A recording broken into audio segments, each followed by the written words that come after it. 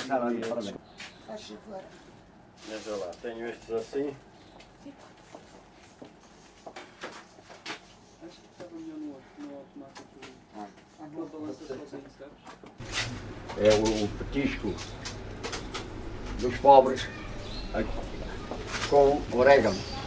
Tem aqui e tem assim neste género, em rama. É o mesmo artigo, só que ali é em rama e aqui é fruta. Só coisa. Estes são grelhados. Pouca gente cose. Põe na chapa e comem grelhado. Eu não, por acaso nunca comi, mas hei de provar estes.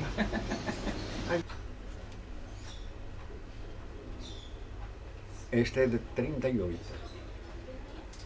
Que foram meus patrões. Tá? Mas antes deles, já esta casa, como os balcões eram de madeira, era tudo a antiga portuguesa. José Davi Rodrigues, E nasceu em que ano? em 30, 31, 31, 31. Onde? em Lisboa, Aqui no, no bairro? no Hospital de São José. Na maternidade, Santa Bárbara, assim é que é. Uhum. E há quanto tempo é que tem esta loja? Olha, nó- eu entrei aqui praticamente em 49. Depois tive 10 anos. E fui 5 anos empregado e 5 anos deram uma cotinha pequena. E depois daqui em 59, 60 fui para o Brasil, emigrei. Do Brasil depois segui para a Venezuela aquele cliente nasceu lá em São Paulo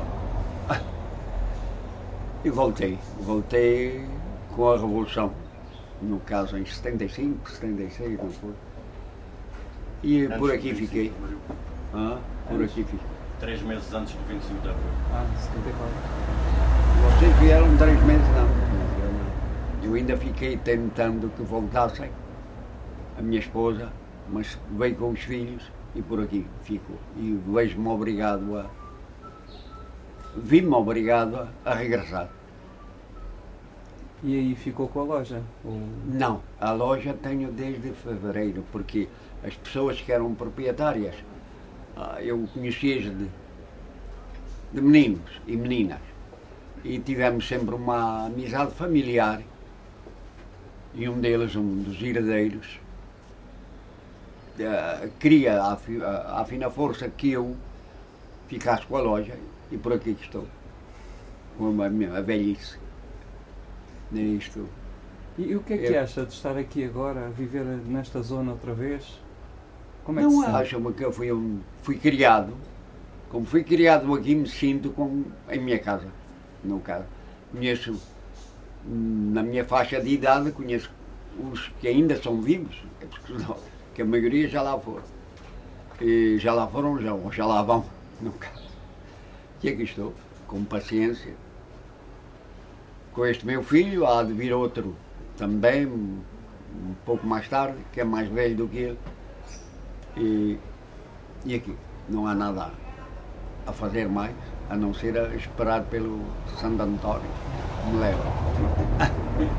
Nós habituados a outro sistema, quer dizer, um- outra convivência, hoje já se torna, a gente se afasta, e eles, os habitantes, há uma maneira de pensar eh, totalmente diferente.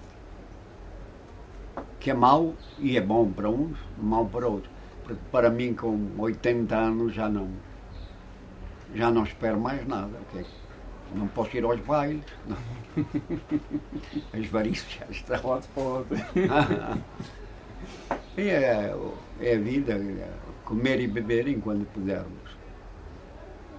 Os negócios é que estão um pouco ah, tristes, como nós também, porque não fazemos muito negócio.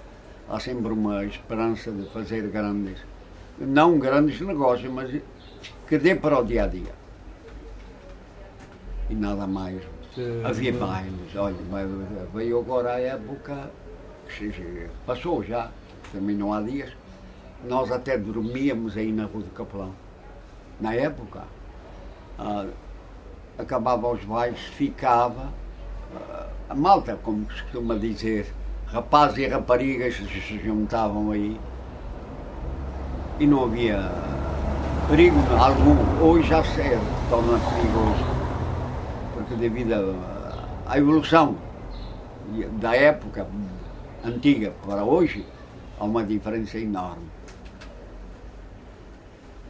Agora, Ou, seja, aí já não se pode. Há, há sempre problemas de, de confusão, confusões que, opa, que se cria, que criam e para quem está com a minha faixa de idade já não, não, não consegue. Mas fala lá desses bairros. Falou ali da rua do Capelão, não é? Eram aí os bairros?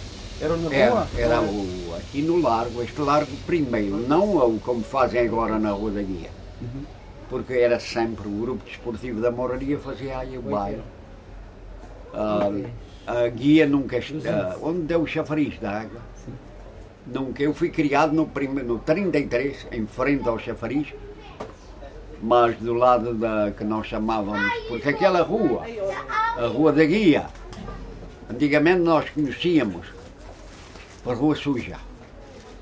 Porque mesmo na história do, do bairro, a rua chamava-se rua, rua Suja. Toda a gente conhecia a Rua, rua Suja. Assim como aquele pedaço da Marquês Fonte Lima era a Rua das Tendas. Porque havia ah, três, quatro casas de comércio. Hoje já não, hoje já ninguém conhece. Ninguém conhece esses nomes. Mas fomos, havia o baile, eu até fui na marcha da moraria, cheguei a 50, 51, fui e havia sossego, como voltando ao mesmo, havia sossego, além de haver os, certos costumes que havia, como as casas de. que havia muitas, como é que chama? Não, posso bem, posso bem. de mulheres da vida, vamos lá. Sim, Mas sim. havia respeito.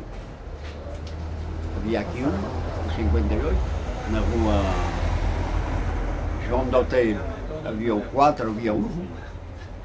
Na rua da Amendoeira havia o 16, o 14, o 39. Quer dizer, no meio, aqui na rua Terreirinho também havia mais duas casas. Tínhamos o Socorro, onde era a igreja, que é demoliram, que era ali na zona do Socorro, havia mais três e quatro casas. Havia dos Canos, a Canos era de- desde o Arco Marquês de Alegrete, quer dizer, não seria, mas onde hoje a, única coisa que ainda existe antiga, que era a estalagem, é a estalagem dos Camilhos que é ali na, na rua. Ai, Porta Santo Antão. É. Porta Antão. vai da, do Poço Borratem à Praça da Figueira. E assim se vivia feliz, contente e com a, a alimentação é, seria a sopa de Sidónio, que parece que vai voltar. O Sidónio Pais criou a, as sopas, a sopa dos pobres. E eu fui alimentado com essa sopa. Eu e os meus irmãos.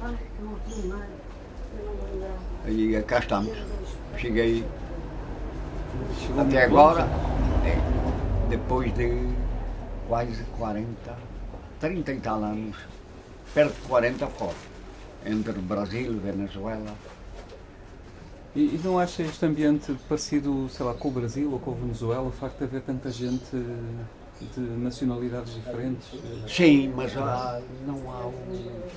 Nós, por exemplo, temos aí os, os indianos e os chinos, por aqui. Uhum. Mas eles não são comunicativos, é muito difícil, eles vivem isolados. Iso- E no Brasil não. Olha, eu lidei com todas as raças e sabe qual é a pior? É a portuguesa. Verdade. Antigamente sim, havia uma certa amizade que toda a gente, se havia uma dor no vizinho, toda a gente, na época em que quando falecia, o velório era feito à, dentro de casa, de qualquer um, a vizinhança, podia todo, havia o bagaço e o café, lá guardei, sempre da, da meia-noite. E pouco mais tenho a acrescentar.